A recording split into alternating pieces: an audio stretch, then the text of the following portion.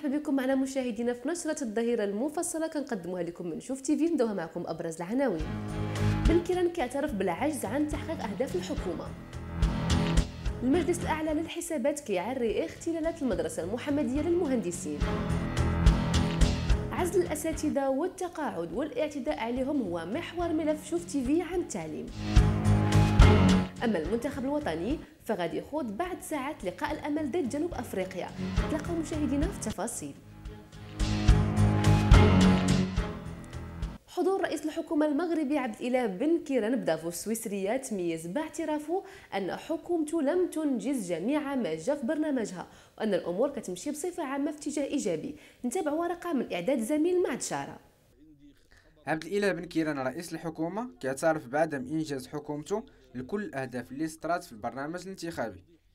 بن كيران وحزب العدالة والتنمية اللي كيحملوا جزء من المسؤولية في عدم تحقيقهم سنة الحكومة الأولى لكل أهدافها للتماسيح والعفاريت وجيوب المقاومة غير خطابه خلال مؤتمر دافوس المنعقد حاليا بسويسرا واللي كيمثل فيه بن كيران المغرب بحيث تحدث على صعوبات أخرى تبدو أكثر منطقية. وعد بن كيران على أن حكومته غادي تحاول تجاوزها فيما تبقى من ولايته الحكومية. كاتب الدولة للشؤون الخارجية بالرأس الأخضر خوسي لويس روشا كيأكد في دعم بلاده للمبادرة للحكم الذاتي في الأقاليم الجنوبية للمملكة. وقد أجرى في هذا السياق وزير الخارجية المغربي سعد الدين العثماني مباحثات مع خوسي لويس لتقييم التعاون الثنائي بين البلدين في المجال التقني والقطاع الخاص الاقتصادي ما بين الطرفين متابعتنا اليوم لما جاء به المجلس الأعلى للحسابات غادي نتوقفوا على متابعة الاختلالات اللي عرفتها المدرسة المحمدية للمهندسين في ورقه من إنجاز الزميل معد شارة. وضع تقرير المجلس الأعلى للحسابات الأسبوع ديالو على مجموعة من نقاط الاختلال داخل المدرسة المحمدية للمهندسين واللي كتعتبر من أبرز المدارس العليا في المغرب. التقرير تحدث على صرف المدرسة لمبلغ كيفوت 300 مليون سنتيم في غياب برنامج استعمال مؤشر عليه وما وضحتش الإدارة المعايير تقييم تكلفة صيانة المباني. التقرير أضاف كذلك إلى أن المدرسة المحمدية للمهندسين كتوفر على 8 ديال المساكن كتستغل منهم من طرف أشخاص متقاعدين عن العمل وآخرون معينون بمؤسسات خارج المدرسة وأن جميع هذه المساكن كتستافد من الموضوع على حساب المدرسة وبدون وجه حق. تكلمت عدة صفحات على موقع الفيسبوك على وفاة أحد الطلاب المنسوبين للتيار القاعدي بكلية الأدب والعلوم الإنسانية بجامعة الظهر المهراز بفاس. لحظات قليلة بعد دخوله في وضعية صحية حرجة لقسم الإنعاش بالمركز الاستشفائي الجامعي الحسن الثاني بعد الإصابة ديالو بجروح خطيرة على مستوى الرأس عقب اقتحام قوات الشرطة للحي الجامعي. وشهد هذا الأخير حالة غليان كبيرة بعد شيوع خبر وفاة الطالب المنتمي لصفوف الاتحاد الوطني لطلبة المغرب بفاس. وزارة التربية الوطنية توصلت أخيرا لاتفاق مع مديري ومديرات المؤسسات التعليمية وهذا خلال الاجتماع اللي جمع الأخيرين بمحمد الوفا بمقر الوزارة. هدى الكحيلة معها تفاصيل هذا اللقاء. وزير التربية الوطنية محمد الوفا. استقبل بمقر الوزارة ممثلين عن الجمعية الوطنية لمديرات ومديري التعليم الابتدائي والثانوي. وحتى طاقم مسؤولين ساميين بالوزارة. هذا الاجتماع تم التوصل فيه الاتفاق ما بين مديري المؤسسات التعليمية ووزارة الوفا. وفضل نتائج مشجعة من شأنها تحط نهاية للتجاذب القوي اللي يميز العلاقة بين فئة المديرين والوزارة اللي وصلوا لدرجة تمرد على القيام بالواجب. هذا اللقاء اللي تم خلاله إصدار بيان عن الجمعيتين الحاضرتين تم التأكيد فيه على أنه تم توصل اتفاقات كثيرة من بينها أن اللجنة المختصة غدا تعقد اجتماع ابتداء من 5 فبراير المقبل. الاجتماع اللي جمع الوفا برئيسي الجمعيتين تم التطرق من خلاله الاعتداءات اللي طالت رجال التعليم واللي تكلف بها الوزير شخصيا. خلال هذا اللقاء جدد الوفا التزام الوزارة بكل مضامين بلغها اللي كانت صدر في 23 نوفمبر 2012 بما فيه الالتحاق بالزوجات والأزواج. وكنتمناو أن هذه الهضرة ما تبقاش حبر على ورق وتطبق على أرض الواقع. علمت شوف تي في أن وزارة التربية الوطنية قامت هذا الأسبوع بتوقيف أستاذة التعليم العمومي بمدينة تماره عن العمل ديالها بعد ما قدمت شهادة طبية للمؤسسة اللي كتشتغل بها باش تمشي تقدم دروس في إحدى المؤسسات الخصوصية بذات المدينة. ومباشرة بعد ما وصلت هذه الأخبار لوزارة الوفاه رسلت الوزاره أحد المفتشين للمؤسسة الخاصة وحصلت الأستاذة وهي كتلقي دروسها في أحد أقسام المؤسسة الخاصة.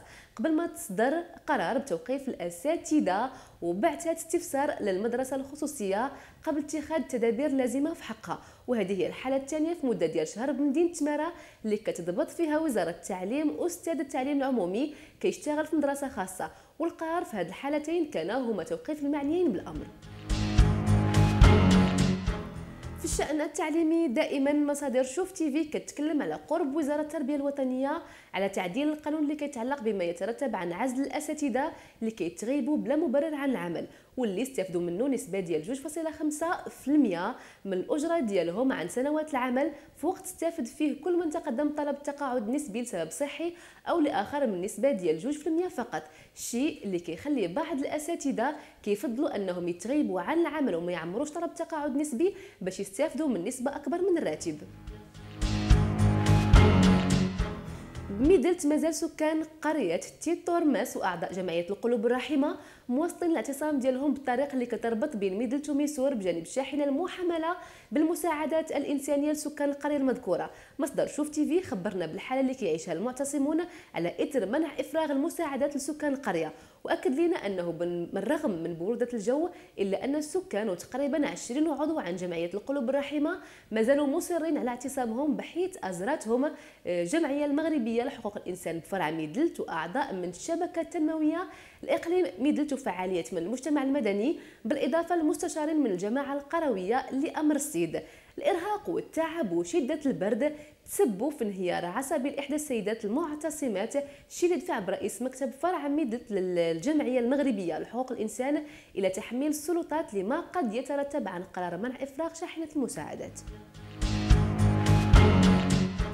حديقة عين سبع بالدار البيضاء بعد ما كانت وجهة لعشاق الطبيعة ومتنفس للعائلات البيضاوية. أصبحت اليوم مخربة ومهدمة والناس كتشكى منها وما بقاتش كتشجع على المتعة.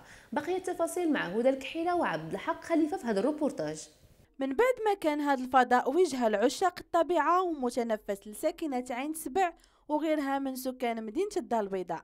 صباح الآن فضاء مخرب ومخيف بالنسبة للأطفال. الباركينغ كان واحد الوقيتة كنقول كان 85 86 كان مزيان. حتى أنا كنجي ليه صغير وداك الشيء ماشي مشكل. أما دابا المشكل ديال دابا دابا تهمل كل شيء. وليت كتدخل الحديقه بحال داخل شي غابة. العاب مكسرة ومهدمة.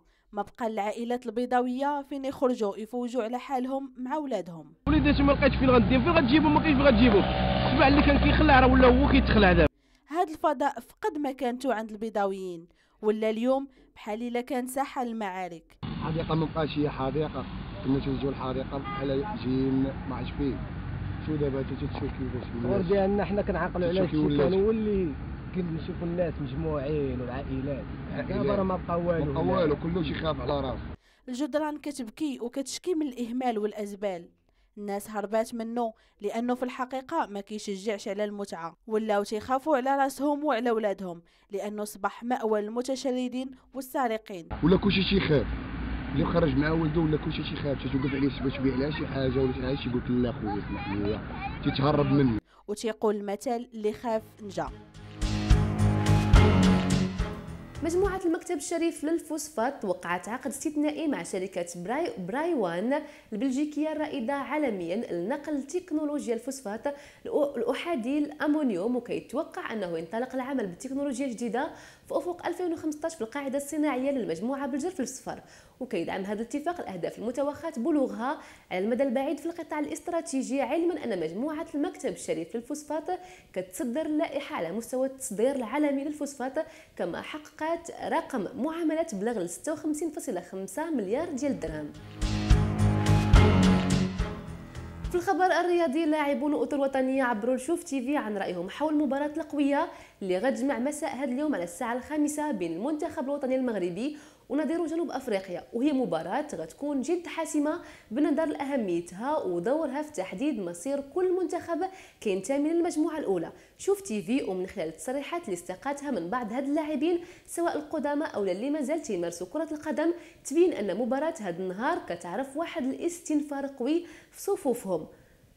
واللي على الرغم من صعوبتها بالنسبة للمنتخب الوطني المطالب بالفوز على البلد المنظم إلا أنهم بانوا متفائلين بهذا الانتصار اللي غادي يخول أبناء الطوسي عبور البوابة الرئيسية للدور الأول. نستمع إذا لتصريحات هذه الأطر الوطنية واللاعبين وهما كيتحدثوا عبر الهاتف لشوف تيفي المقابله ديال الفريق المنتخب الوطني ضد منتخب جنوب افريقيا ما تكون سهلة بحكم المنتخب جنوب الأفريقي البلد المنظم ومساندة الجماهير ديالو يعني غادي تساندو في هذه المقابلة باش يمكن ليه دور يدوز الدور الثاني بواحد ارتياح. وبالنسبة للفريق المنتخب الوطني بعد التعادل في المقابلة الأولى والتعادل في المقابلة الثانية يعني ما عنده ما عندوش شي خيار إلا الفوز في هذه المقابلة. كنتمنى من المدرب ولا اللاعبين ولا الطاقم التقني ديال الفريق المنتخب الوطني يكونوا مستعدين هذه المقابلة ويعطيهم في القلب ديالهم. وإن شاء الله تنتمنى لهم التوفيق والانتصار إن شاء الله في هذه المقابلة. بالنسبة لي أنا شخصيا كنظن بأنه الخطوط ديال المنتخب الوطني المغربي بقى يعني موجودة. لأنه بقى مباراة وضد رغم أنها تكون قوية وضد الخصم من الفريق المستضيف وقدام الجماهير ديالو وكذا ما كيعنيش بأنه حنا غادي نستسلموا وغادي نرخيو العنان ديالنا ونقول بأنه صافي انهزمنا لا بالعكس بقى 90 دقيقه كتلعب في الملعب وياما كثير من الفرق خلقات المفاجأة. كنظن بأنه حنا على المستوى الفردي فعندنا لاعبين في المستوى. كل ما كان كينقصنا هو أنه خانتنا اللياقه البدنية. لأنه لا شي المباراة الأولى ضد منتخب أنغولا؟ فنص الساعة الأولى فكان المنتخب المغربي مسيطر. فالمباراة الثانية ضد الرأس الأخضر في ثلث ساعه الأخيرة. ظهر المغرب بأنه قوي يعني بدنيا وحتى تكتيكيا وتقنيا. مع الاسف أنه ما حاولناش أنه نوفروا ونقتصدوا يعني الطاقة ديالنا خلال 90 دقيقة في المباراة الأولى في الثانية. وهذا راجع اللعابه لأنه رغم أنه المدرب والمعيد البدني يعني يوفر لك جميع الظروف خاصك أنت تكون بالذكاء ديالك أنه تقول أنا ربما نعطي غير واحد 60 دقيقة وخصني نقتصد فنعرف وقتاش نطلع وقتاش ما نطلعش. ماشي نعطي كل شيء من بعد نبقى نتفرج أو نبقى ناعس في البريمير ميطون حتى الدوزيام ميطون عاد نتحرك. هذه أخطاء شخصية بعض اللاعبين. على العموم فخصنا نكون متفائلين وخصنا نتجندوا ونكون وراء المنتخب المغربي وراء الناخب الوطني. بسم الله الرحمن الرحيم. كنظن الفرصة الأخيرة بالنسبة للفريق الوطني وكنظن لا خير على الفوز لأن حتى نتيجة التعادل في حاله تعادل المنتخب الراس الأخضر غادي يخسر الفريق الوطني المغربي من المسابقة نهائيا. لكن آه، ما تبقاش كنتوقعوا بكل صراحة النتائج ربما اللي نقول مخيبه الامال آه، لكن أعتقد أن التهيئ إن كان نبدو من دراسة يعني من واحد مدة طويلة باش يمكن نهيئوا فريق وطني اللي يكون حاضر في الاحصائيات وكما قلت سابقا هذا كان ناخذوها ك يعني كاستعدادا وتهيئ الفريق الوطني اللي كان 2015 غتكون في بلادنا. ونهيئوا فريق في المستوى الكبير ل 2015 إن شاء الله. ومباراة ديال جنوب إفريقيا فما زالت الحدود قائمة. لكن آه، الأمور فهي صعبة نوعا ما على الفريق الوطني. آه، ما غاديش نقول لك نتمنى لأن اينما كنتمناو حتى شي حاجة ما ما حصلت. آه، حظ سعيد للفريق الوطني. و نتمنى من هذه المتناهيات ديال الجماهير المغربية باش تكون إيجابية في رد الفعل ديالها كما كانت النتيجة ديال المباراة. المقابلات اللي قام بهم المنتخب يعني مقابلات ما قنعوش لا الجمهور ديالو لا اللاعبين كذلك حاسين بالمسؤوليه انهم ما قدموش المستوى اللي كانوا يتسناو منهم الجمهور المغربي. المقابله جنوب أفريقيا ما تكونش سهلة. نعرفوا ان كرة القدم ماشي يعني ما عندهاش بحيث ما عندهاش حسابات نقدروا نقول ان المقابلة تستاهل بهذه النتيجة. مقابلات قنعوا يعني عندنا فرصة أخيرة هي أننا نفوز على جنوب أفريقيا والفريق المنظم تعرفوا الأمور اللي تتوقع في كأس أفريقيا خصهم الفوقيس تكون منظمة. نتمناو إن شاء الله أن المنتخب إن شاء الله يبدأ بديك الصورة اللي خذينا عليه. المقابلتين الأولى. إن شاء الله يفوزوا إن شاء الله. كل توفيق أكيد كنتمنوه لمنتخبنا الوطني. وبالخبر رياضي مشاهدينا كنطيو أوراق نشرتنا لكم أطيب تحايا من زملاء في قسم الأخبار. دمتم في رعاية الله. إلى اللقاء.